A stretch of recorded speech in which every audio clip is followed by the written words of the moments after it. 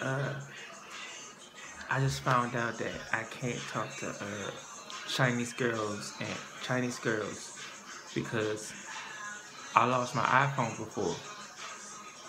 And um I lost my iPhone before. I got I lost no, I broke my iPhone cracked. Uh I got my iPhone stolen before. I got two iPhones cracked. I fixed the iPhone, got it stolen. Got it cracked. Got another iPhone cracked. Some more shit. And um they gonna keep on coming out with iPhones and I'm be like, uh, yeah. I got my iPhone stolen. Got an iPhone cracked right now. Gotta get it fixed. Um, we talk about later.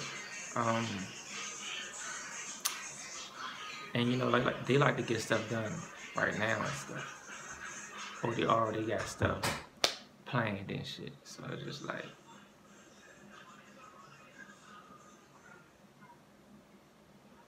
Can you ask your brother to fix my iPhone?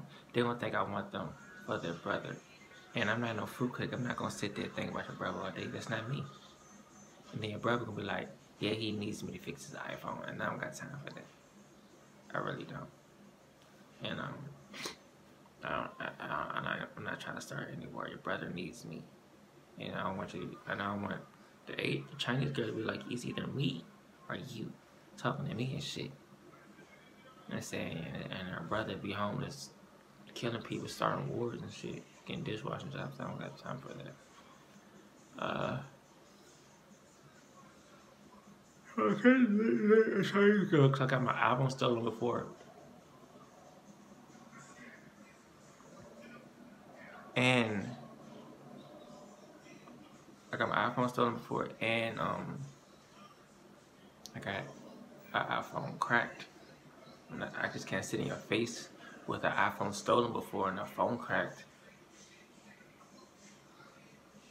We have standards. Don't look for perfect. Right? Right? Right?